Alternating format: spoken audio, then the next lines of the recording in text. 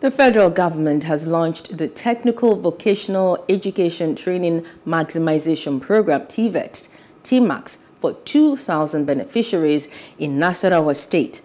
The program being spearheaded by the Senior Special Assistant to the President on Education Intervention is targeted at training 15,000 Nigerians on technical and vocational skills across seven pilot states in the country.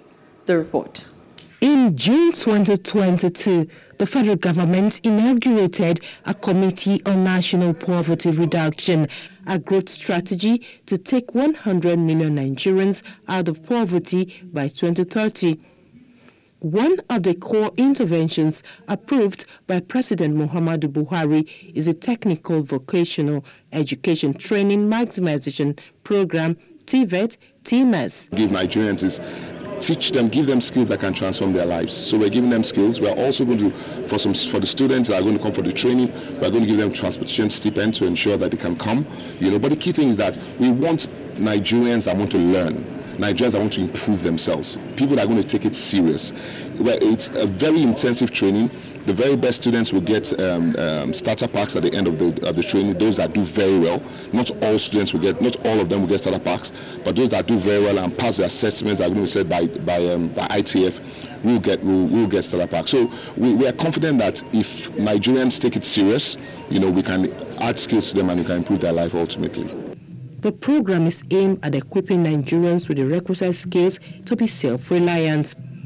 The Senior Special Assistant to the President on Education Intervention is in Nasarawa State to launch the program for 2,000 indigents of the state. Students between the ages of 18 and 35 years old are considered possible beneficiaries.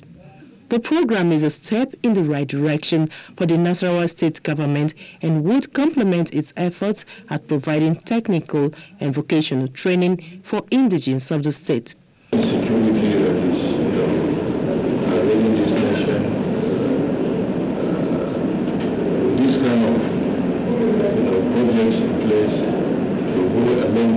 Check the excesses of our our then extension bring, you know, all criminalities to the minimum. So we thank you for coming. It is our hope and prayer that at the end of the day we will not regret starting this in. The presidential team is also meeting with operators of TVET centers across the state to abreast them on the rules of engagement.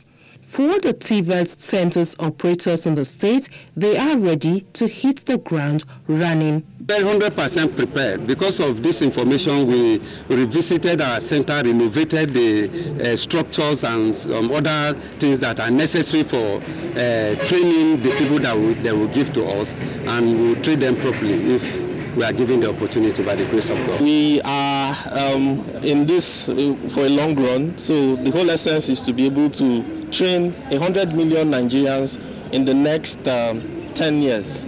So the goal is to be able to get 100 million Nigerians out of poverty by the year 2030.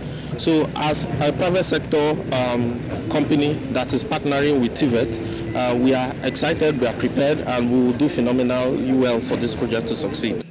Registration for the program will commence on www.tmax.ng